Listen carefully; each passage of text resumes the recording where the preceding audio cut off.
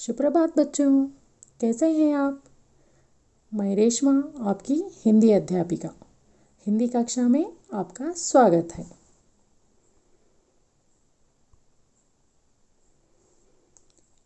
आज हम सीखेंगे पाठ किरण का संदेश।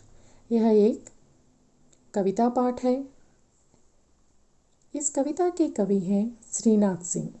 श्रीनाथ सिंह का जन्म 1901 में इलाहाबाद ज़िले के मानपुर गाँव में हुआ था। उन्होंने स्वतंत्रता आंदोलन में भाग लिया था।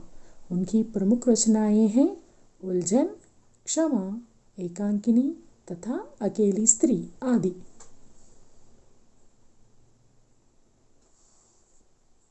श्रीनाथ सिंह का जन्म 1901 में इलाहाबाद ज़िले के एक छोटा सा गाँव था जिसका नाम था मानपुर गाँव। उस गाँव में श्रीनाथ सिंह का जन्म हुआ था। उन्होंने स्वतंत्रता आंदोलन में भी भाग लिया था। इन फ्रीडम मूवमेंट ही पार्टिसिपेटेड इन फ्रीडम मूवमेंट। इनकी प्रमुख रचनाएँ हैं। कुछ रचनाएँ इस तरह से है। कुछ रचनाएँ, जिनके नाम हैं उलझन, क्षमा, एकांकिनी तथा अकेली स्त्री आदि। बच्चों इस चित्र को ध्यान से देखिए और बताइए, आप क्या क्या देख सकते हैं इस चित्र में? बारिश हो रही है, बादल है, अभी इंद्रधनुष भी है। क्या आपको पता है इंद्रधनुष कब दिखाई देता है? तब बारिश होती है, तब सूरज की किरणें बारिश की बूंदों पर पड़ती हैं उनकी रोशनी में इंद्रधनुष बनता है। चलो बच्चों, अब बताओ, यहाँ पर एक फूल खिल रहा है। आपको पता है फूल कब खिलते हैं? तब सूरज की रोशनी, सूरज की किरणें फूल पर पड़ती हैं, तब फूल खिलते हैं। चलो अब बताओ, धरती पर उजाला कौन फैलाता है? सूरज। और बताओ, बच्चों, आप सुबह किसके आने पर जागते हैं? सूरज। सूरज तो स्वयं हमारे पास नहीं आता, बल्कि सूरज की किरणें हमारे पास आती हैं और हमें जगाती हैं। यस, सूरज। क्या आप बता सकते हैं कि सूरज किन किन नामों से जाना जाता है? सूरज के अन्य नाम हैं। क्या आप बता सकते हैं उन्हें? हाँ सूरज के अन्य नाम इस तरह से हैं। रवि, दिवाकर, दिनकर, भास्कर, भानु, आदित्य, ये सब सूरज के नाम हैं। समान अर्थ प्रकट करने वाले शब्दों को समानार्थी शब्द या पर्यावाची शब्द कहते कहते हैं। ये सब सूरज के समानार्थ शब्द हैं और इन्हें पर्यावाची शब्द भी कहते हैं।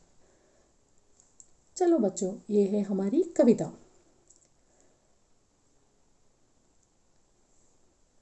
कविता इस तरह से है, बच्चों। मेरे कमरे में सूरज की एक किरण नित आती है, जिसको पाती पास उसी पर अपनी चमक चढ़ाती है। बच्चों, इस कविता में जो कठिन शब्द हैं, जो नए शब्द हैं, उनके अर्थ इस तरह से हैं।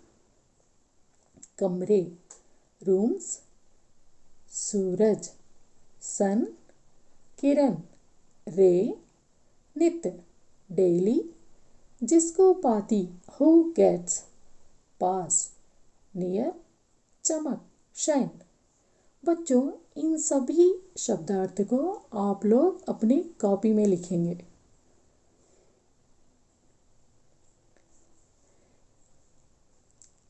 कविता का अर्थ इस प्रकार है। मेरे कमरे में सूरज की एक किरण नित आती है। कवि सीना सिंह इस तरह से कहते हैं कि उनके कमरे में एक सूरज की किरण आती है। कब आती है? नित आती है। Daily sunray will come to our poet Sina Singh room जिसको पाती पास उसी पर अपनी चमक चढ़ाती है। जिसको पाती पास उसी पर। Whenever the sun shine get in poet's room shines every near object whichever object will be near in on that object the shine the sun rays are going to shine जिसको पाती पास उसी पर अपनी चमक चढ़ाती है। ये सूरज की किरण है, जिसको अपने पास पाती है उन पर अपनी सूरज की किरणें डालकर अपनी चमक फैलाती है। चढ़ाना यानी यहाँ पर सूरज की किरण अपनी चमक को फैलाती है। चलो बच्चों, मेरे साथ दोहराओ। मेरे कमरे में सूरज की एक किरण नित आती है। जिसको पाती, पास उसी पर अपनी चमक चढ़ाती है। चलो बच्चों, फिर से दोहराओ। मेरे कमरे में सूरज की एक किरण नित आती है, जिसको पाती पास उसी पर अपनी चमक चढ़ाती है। चलो बच्चों, इस कविता से ताल्लुक कुछ प्रश्न पूछूँगी, उनके सही सही उत्तर दीजिए। सूरज की किरण नित्य कहाँ आती है? हमने इस पंक्तियों में पढ़ा है। सूरज की किरण नित मेरे कमरे में आती है। मेरे कमरे में यानी कवि के कमरे में। तो कहाँ आती है सूरज की किरण? कमरे में आती है। सूरज की किरण नित कमरे में आती है। दूसरा सवाल इस तरह से है। सूरज की किरण अपने पास वालों के साथ क्या करती है? सूरज की किरण अपने पास वालों पर क्या चढ़ाती है? चमक चढ़ाती है। चमक चढ़ाती है। चमक यानी शाइन सूरज की किरण अपने पास वालों पर अपनी चमक चढ़ाती है। चलो बच्चों, यहाँ पर कुछ शब्द इस तरह से हैं। कमरा, किरण, इन शब्दों के बहुवचन आपको बताना होगा। कमरा शब्द है, आकारांत शब्द। आकारांत शब्द, एकारांत शब्द में बदल जाएगा। जैसे, कमरा, कमरे। किरण किरण अकारांत शब्द है और अकारांत शब्द एकारांत शब्द में बदल जाएगा। जैसे, किरण, किरणे। बच्चों, इन पंक्तियों में कुछ शब्द इस तरह से हैं। किरण, नित्य, चमक। इन शब्दों से आप लोगों को कुछ वाक्य बनाने होंगे, जिन्हें वाक्य प्रयोग कहते हैं। चलो बच्चों, किरण शब्द का वाक्य प्रयोग मैंने इस तरह से लिखा है। हमें सूर्य की किरणों से विटामिन डी मिलता है। चलो बच्चों, आप चाहें तो दूसरा वाक्य बना सकते हैं। आप मेरे साथ बोलिए, हमें सूर्य सूर्य की किरणों से विटामिन डी मिलता है। बच्चों, आपको पता है विटामिन डी? सूर्य की किरणों से मिलता है और ये कब मिलता है? प्रातःकाल। प्रातःकाल हमें सूरज की किरणों से विटामिन डी मिलता है। विटामिन डी के क्या लाभ हैं? विटामिन डी से हड्डियाँ, हमारे जो हड्डियाँ हैं और मांसपेशियाँ हैं, वो तंदुरुस्त और दृढ़ बनते हैं। दूसरा शब्द है नित्य। नित्य हंसना सीखो। डेली, नित्य डेली। हमें क्या सीखना है? हंसना सीखना चाहिए। मुस्कुराना सीखना चाहिए। हंसना यानी पागल की तरह हंसना नहीं, हमेशा खुशी से रहना चाहिए। तीसरा शब्द है चमक। शाइन। सूर्य की किरणें चमकती हैं। ये मेरा वाक्य है। बच्चों, आप चाहें तो दूसरे वाक्य भी बना सकते हैं। बच्चों, कविता की अगली चार पंक्तियाँ इस तरह से हैं। बच्चे होते ही उदास पर वह हरदम मुस्काती है। चुपके से आँखें चमका कर कानों में कह जाती है। इस पंक्तियों में जो जो कठिन शब्द है, जो नए शब्द है, उनके अर्थ इस प्रकार हैं। बच्चे, चिल्ड्रन, उदास, सैड, हरदम ऑलवेज मुस्काती स्माइल चुपके स्टेल्थ कानों ईयर्स आँखें आइस बच्चों, इन सभी शब्दों के अर्थ आप कॉपी में लिखकर सीखेंगे। इस कविता का अर्थ इस तरह से है, बच्चे होते हैं उदास पर, वह हरदम मुस्काती है। बच्चे कभी भी उदास होते हैं तो वह हरदम मुस्काती है। यानी यहाँ पर वह है सूरज सूरज की किरणें। सूरज की किरणें हमेशा मुस्काती रहते हैं। चुपके से आँखें चमकाकर कानों में कह जाती है, ये सूरज की किरण जो बच्चे उदास रहते हैं, उनके पास आती है। और आँखें चमकाकर इन बच्चों के कानों में कुछ कह जाती है। पता हो क्या कह जाती है? मुस्कुराने के लिए कह जाती है। चलो बच्चों मेरे साथ दोहराओ बच्चों। बच्चे होते हैं उदास पर, वह हरदम मुस्काती है। चुपके से आँखें चमकाकर कानों में कह जाती है। बच्चों बताओ, सूरज की किरण बच्चों को चुपके से क्या कहती है? मुस्काने को कहती है। सूरज की किरण बच्चों को चुपके से मुस्काने को कहती है। बच्चों, यहाँ पर देखो, दो शब्द हैं, बच्चा और आँख। बच्चा का बहुवचन है, बच्चे। बच्चा आकारांत शब्द है। तब हम इस शब्द को बहुवचन में लिखेंगे तो आकारांत, एकारांत में बदल जाएगा। जैसे, बच्चा, बच्चे। आँख। आँख आँखें। आँख अकारांत शब्द है। अगर हम इस अकारांत शब्द को बहुवचन में लिखेंगे तो ए जमा होके आँखें बन जाएगा। आँख, आँखें।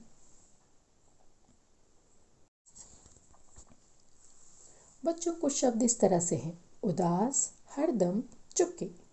इन शब्दों को वाक्यों में प्रयोग करना होगा। देखो, मैंने कुछ वाक्य लिखे हैं इस तरह से। उदास रोहिणी कुछ उदास सी हो गई है। रोहिणी, आज पता नहीं क्यों उदास दिख रही है, इसीलिए मैंने लिखा है, रोहिणी कुछ उदास सी हो गई है। हरदम हरदम यानी ऑलवेज वह हरदम रोती रहती है। चलो बताओ, यहाँ पर कोई ऐसी लड़की है जो हरदम रोती रहती है? नहीं ना? बढ़िया। चुपके साइलेंटली चुपके से हवा चली है। चुपके से क्या चली है? हवा चली है।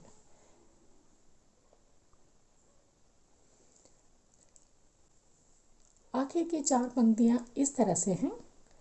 प्यारे बच्चों उत्साही है, चमकदार तेरा जीवन। भारत माता, सूरज सी है, तू है उसकी एक किरण। बच्चों, इन पंक्तियों के कुछ नए और कठिन शब्द के अर्थ इस तरह से हैं। आप इन शब्दों के अर्थ कॉपी में लिखकर सीखेंगे। प्यारे, डियर, चमकदार शाइनिंग जीवन, life, Bharat Mata, mother India. प्यारे बच्चों, उत्साही है, चमकदार तेरा जीवन। यहाँ पर कवि कहते हैं प्यारे बच्चों उत्साही है चमकदार तेरा जीवन। कवि सूरज की तुलना कर रहे हैं। हमारा जीवन, बच्चों का जीवन किस तरह से है? सूरज के समान है। किस तरह से? देखो यहाँ पर, भारत माता सूरज सी है, तू है उसकी एक किरण। यहाँ पर भारत माता भारत माता किसके समान है? सूरज की समान है। और हम यानी बच्चे बच्चे हैं सूरज की किरण के समान। कवि श्रीनाथ सिंह आप लोगों की तुलना सूरज की किरण के समान कर रहे हैं और हमारी भारत माता की तुलना सूरज के समान कर रहे हैं। और poet Shrinath Singh comparing Bharat Mata, Mother India to sun and children to sun ray. He is telling like this. What he is that our life is very bright, very shining. We are just like sun ray and our Mother India is just like sun. चलो बच्चों बताओ कविता में भारत माता और बच्चों को किन के समान बताया गया है कविता में भारत माता को सूरज और बच्चों को किरण के समान बताया गया है कुछ शब्द इस तरह से हैं। चमकदार, जीवन, भारत माता। इन शब्दों को वाक्यों में प्रयोग कीजिए। मैंने कुछ वाक्य लिखे हैं इस तरह से। चमकदार, उसकी आँखें चमकदार थीं। चमकदार यानी शाइनिंग जीवन, लाइफ। हमें हमें जीवन में अच्छे काम करने चाहिए। भारत माता। Mother India. भारत माता की जय बोलो। बच्चों, जरा इन्हें भी जाने। प्रातःकाल सूरज की रोशनी से शरीर को विटामिन डी मिलता है। प्रातःकाल सूरज की रोशनी से हमें विटामिन डी मिलता है। पता हो विटामिन डी क्यों ज़रूरी है हमारे लिए? हमारे हड्डी और मांसपेशियों की मजबूती के लिए हमें विटामिन डी बहुत ज़रूरी है। सूरज की किरण ही बादल बनते हैं और वर्षा होती है। सूरज की रोशनी से ही फलों में रंगों का निर्माण होता है। आपको पता है, सूरज की रोशनी नहीं है तो फलों में रंग नहीं बनते और ना ही फल पकते हैं। सूरज की रोशनी में पेड़ पौधे अपना भोजन तैयार करते हैं। बच्चों, क्या आप बता सकते हैं, अगर सूरज ना होता तो क्या होता? सूरज के बिना धरती पर जीवन नहीं होता। सूरज के बिना पेड़ पौधे अपने लिए भोजन नहीं तैयार कर सकते हैं। सूर्य की गर्मी और प्रकाश के बिना पृथ्वी बर्फ़ की चट्टान होगी। बच्चों, इस कविता किरण का संदेश से आधारित एक एनिमेशन वीडियो देखेंगे।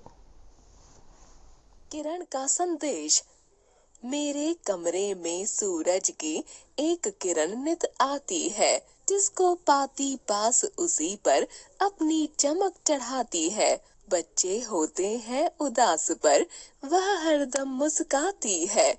चुपके से आँखें चमका कर कानों में कह जाती है, प्यारे बच्चों, मुझ सा ही है, चमकदार तेरा जीवन। भारत माता सूरज सी है, तू है उसकी एक किरण। कवि श्रीनाथ सिंह। धन्यवाद बच्चों।